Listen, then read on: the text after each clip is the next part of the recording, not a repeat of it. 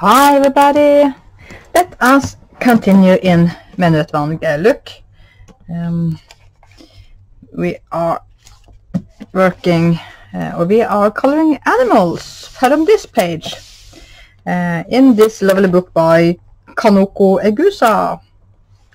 Um, so we have colored this little mice or mouse. Uh, yeah, I guess that is when it's one mouse, it is mouse. When, it's several, it's mice. So this little mouse. Uh, and today I thought that we should color uh, the uh, fruitvendela, the, uh, the fruit selling, vegetable selling French bulldog. Uh, SMC wanted to color the Frenchie so let's do so. But I want to zoom in.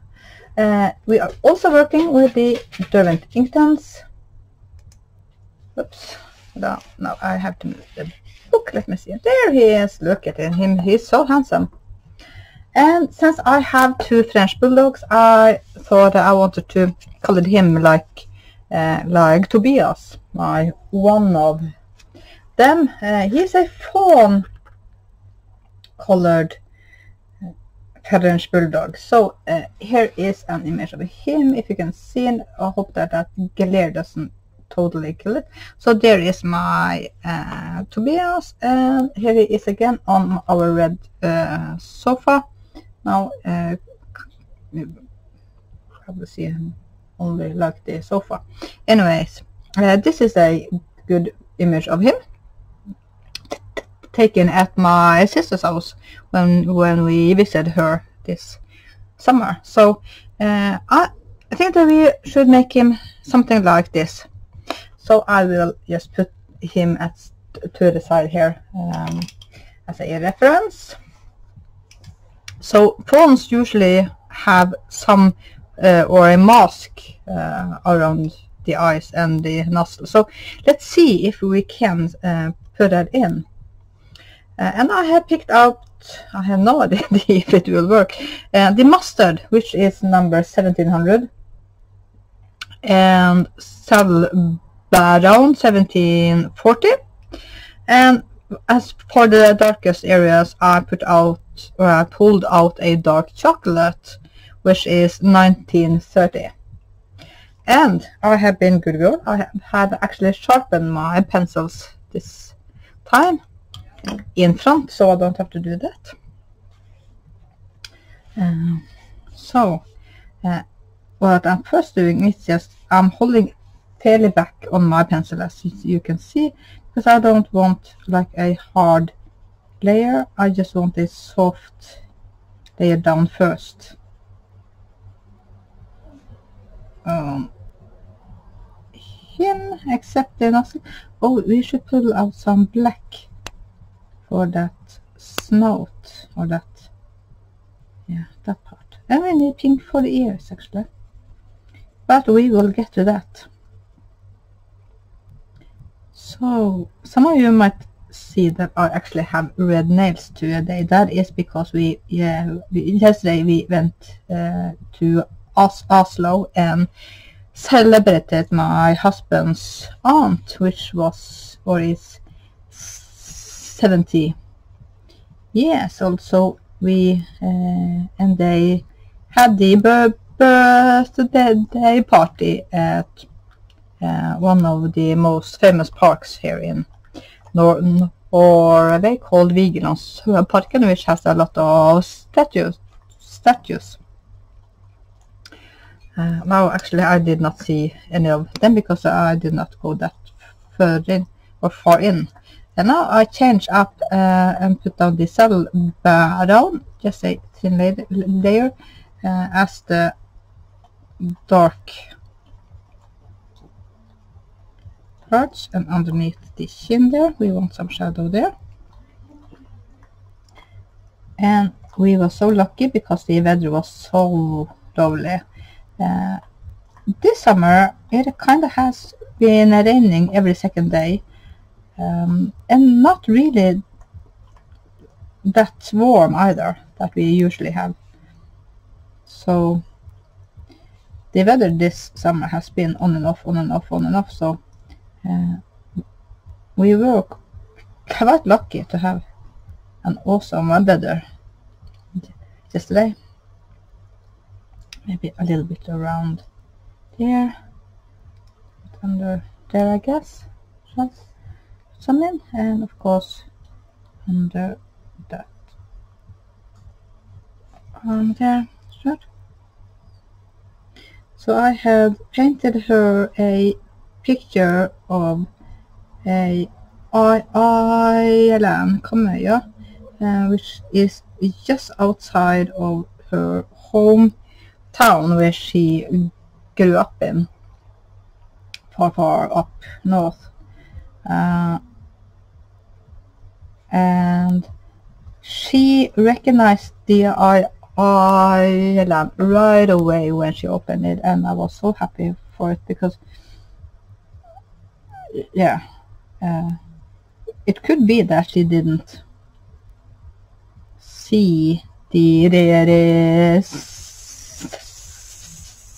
resemblance and actually could see what it was and I kind of had to tell her that this is this is this uh, so I was uh, quite anxious that uh, if she actually could see what it was. And she did. When she opened up, she said, oh my god, it's Kamøya. And then she told everybody that she had been smooching out uh, on that island and pointed out where. And uh, yeah, so that was a, we had a great laugh and I was so happy um, that she actually recognized it. So I think that it is it for now for him. We need some pink for the little or inside the ears because they are quite pink. Um, I think I used the carmine pink the last time, didn't I?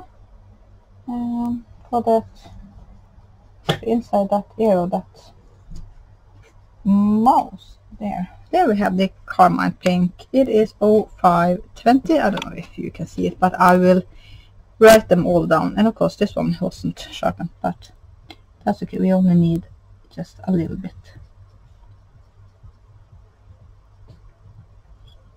that the way we, we, can, we will darken up the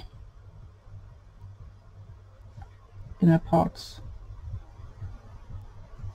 And we can use a, oh my god, a regular pencil for that. Hysj, hysj, nej, nej, nej, du, nej, Nico hysj. Guess uh, Aria saw something outside, so she uh, oh, I have not a tissue or something to wipe my, um, I, maybe I do have one here. I have one of this old cloth here. So this is just a, or the Faber-Castell water brush uh, that I used the last time. I will put that in uh, in the, the this description as well. Oops. There we had that pulse. I will have to maybe turn that off. So I'm starting wetting the lightest area and then working my way in and pulling the darker into that lighter. Um, but still keeping it fairly light in the center.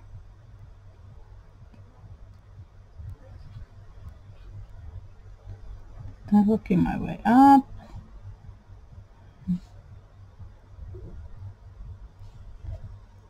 And if you can hear some music, then I'm so sorry, but we have kids and they uh, live here and we even have teens and teens listen to music, often quite loud, but like that. I think we should I should turn off that autofocus stressing me out like that. So I have to wipe off all of that pink because I don't want that pink to be pulled onto anything else. Working all the way down here. That. That darkest right there. That.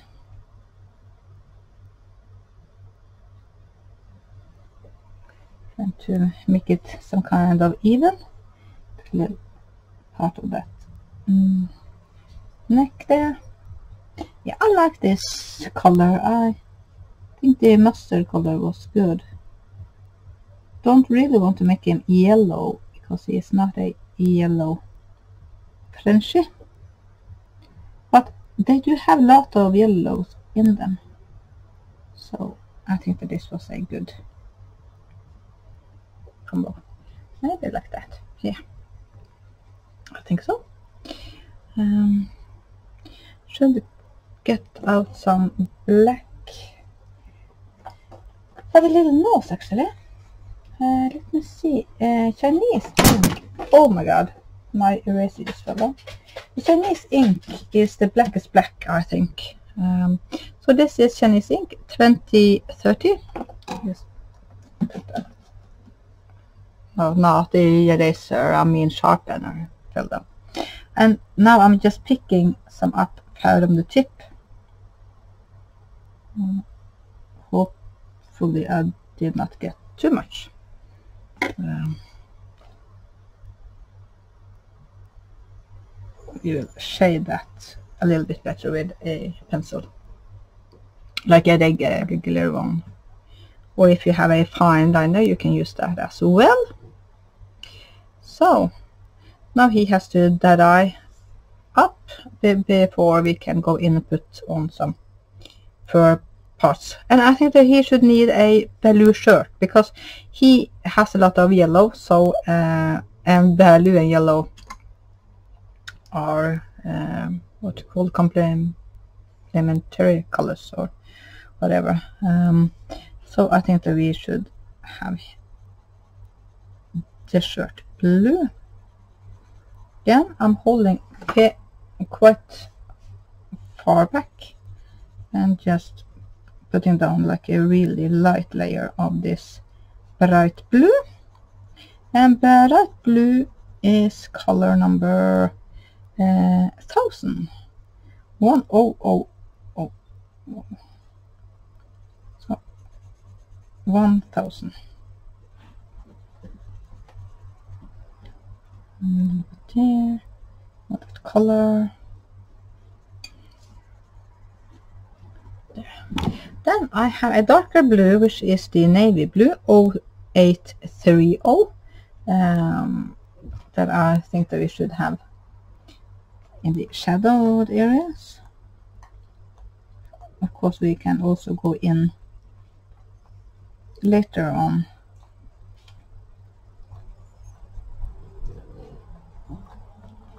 with a regular pencil and shade more if we need to.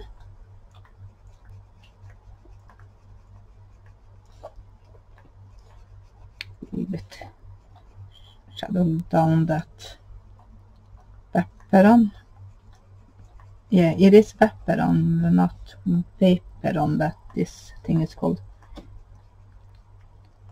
That's actually a cool, a fun word. Oh, Oh no, we got some on Tobias there. Can I erase that? Taking, uh, switch pencil again to the bright blue. So I'm just softening up the um, the part so that the um, blending will be kind of smoother between the darkest and the lightest color and we I will keep a keep the highlights fairly light I'm just working my way in that on that down here so if we need more pigment then we will go in later on and put it in Uh, and I have pushed my book so far to the side. Hopefully that is a little bit better. Mm -hmm. See there I did them. I, yeah, like that. Again with the public Castell because that has a broad point. Not one of the smallest one. So the smallest tips are are only used for um, the the tails right there. I lost that highlight that we had there but I can go in with a white pencil and get that back with that. Because you can always use pencils on top of ink pens again working my way up. Hopefully the transition is working. The white areas working my way into the blue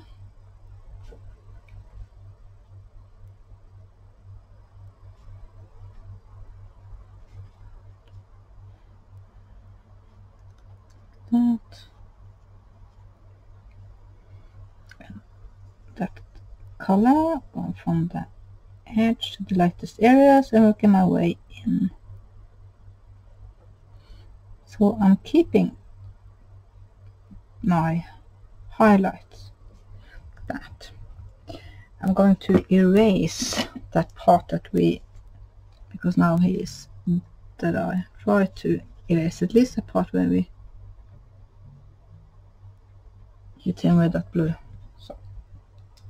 Think that looks good enough, at least for now.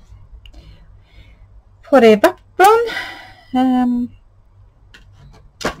I think I want to use the um, Madder brown color. Um, yeah, let's do that. Madder brown which is 1920.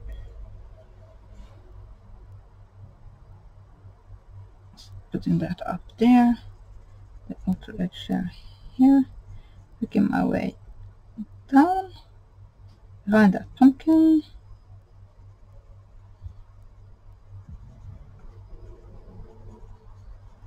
That, no, I did not color all of him, just the outer edge. Checking to see if my brush is damp. And then I'm starting wetting the area and working my way down.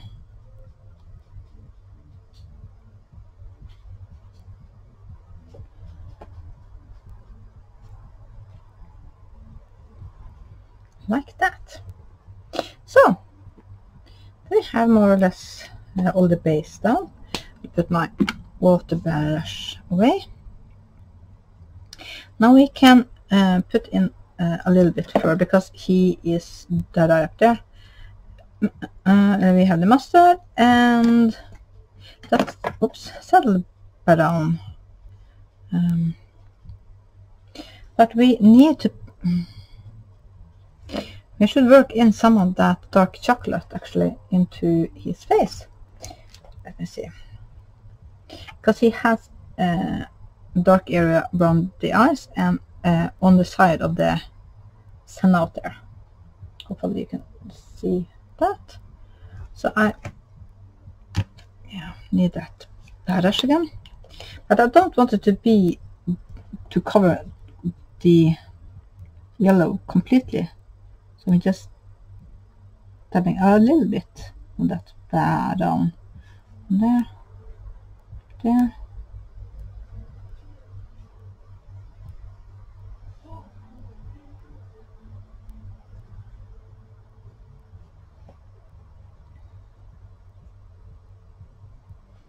You can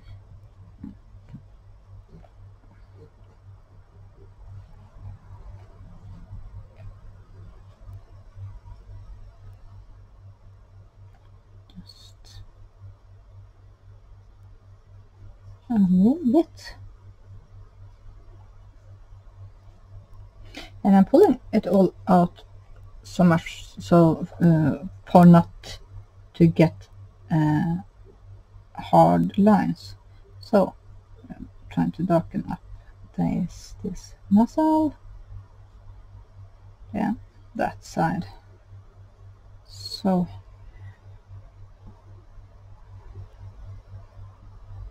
is that no yeah well the chin or yeah that's chin so that maybe a little bit darker around eye as well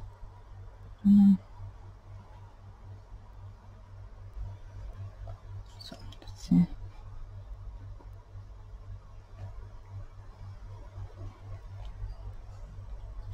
so I think it will be okay when it's that eye. So putting in a little bit fur maybe.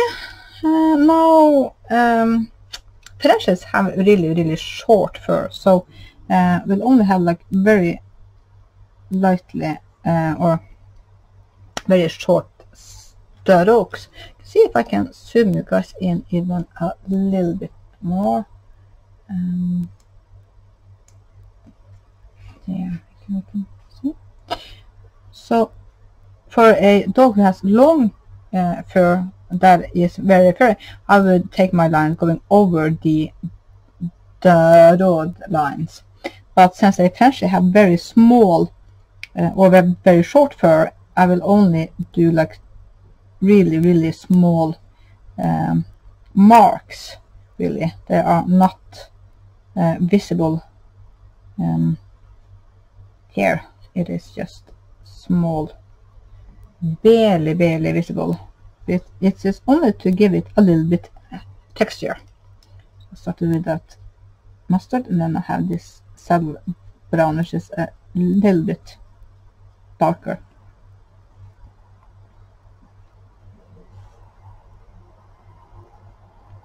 So, so it just looks like come on there, there.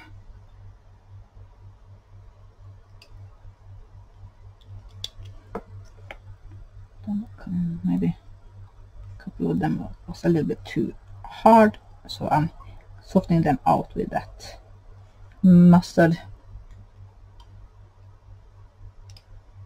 Can use that saddle brown to shade a little bit around there.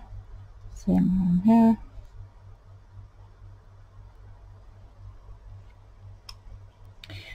Now I'm taking the dark chocolate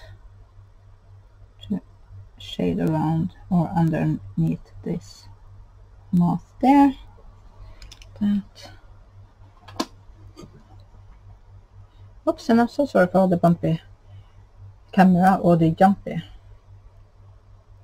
camera um, the black where's that? There it is uh, Chinese black. We did not have a point on that so I will have to sharpen that real fast we have kind of a point and I will just bring back the nostrils and that line that they have there and a little bit around there just to bring it a little bit back. That nose is quite textured as well, so I'm just dabbing some some in. The eyes we I will black out first. And then I will take a white gel pen or you can use a white Posca or whatever you like and put back some highlights there and there. Maybe oh I really want to give him eyelashes but I yeah, no I'll stop. I won't do that. But you can. You need to darken up that eyelid. A little bit more so that it actually shows. Like that. Uh, uh, uh, that backbone. That was the uh, mother. Uh, that is here. And we can I will just use the ink Inktense now as my or as a regular pencil.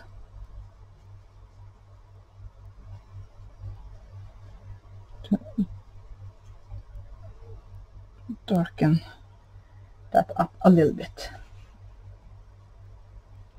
I think that that white actually um, got as white as I wanted it to be. Uh, again, that mustard, uh, that one, yeah, uh, or the ear, I mean, that.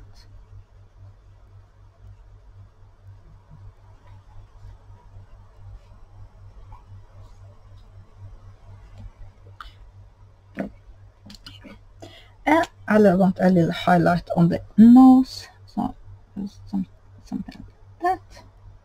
Um, trying to give it a little bit shape. I don't know if that actually shows on camera, uh, but it does in real life. So maybe we should bring back some of the highlight um, here and erase some of that black hard line around the.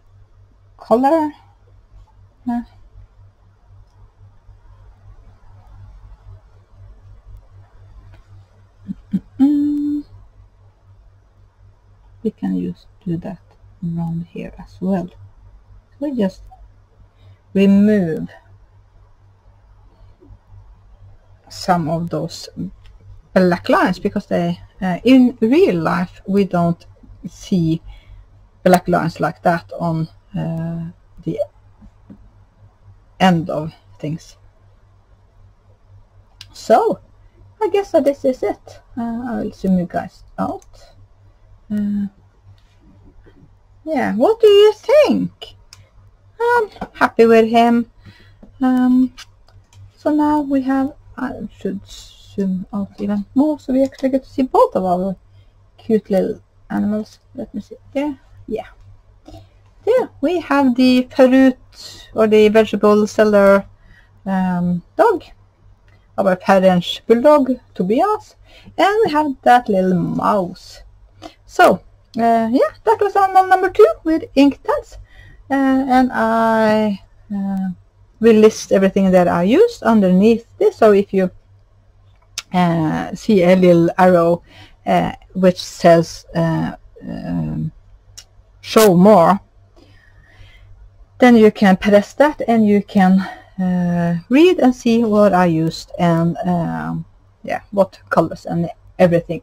Uh, and this is just a suggestions uh, suggestion. I rather want to show you my te technique than the actual uh, or than the colors. So I do hope that you play along and test things out and uh, yeah have fun. That is what this is all about. We are coloring for adults and uh, this is a hobby. It's, it is supposed to be fun and yeah. Uh, if you want more white um, or yeah popping up you can just use a white pencil from any brand really. And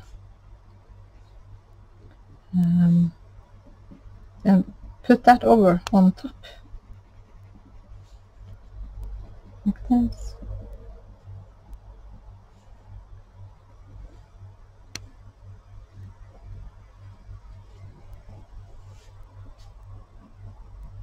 So, softening it all down, have a very hard edge there, or a hard line, don't really want that. So, then it looks softer right away. Like that like that. So you can do that um, if you want to as well. Um, and that is kind of uh, one of the things that I love about Inktense is that you can go over it with pencil or fine liners or uh, whatever you want, uh, even water-based markers uh, because the Inktense is supposed to stay put uh, and shouldn't move when it's getting revetted. So that was it, it from me for today and I hope that, that I'll see you all uh, uh, another day where we are going to color another of these animals. One or two. Uh, so until next time thank you everybody so much for watching and I love you all and I will see you all later. Bye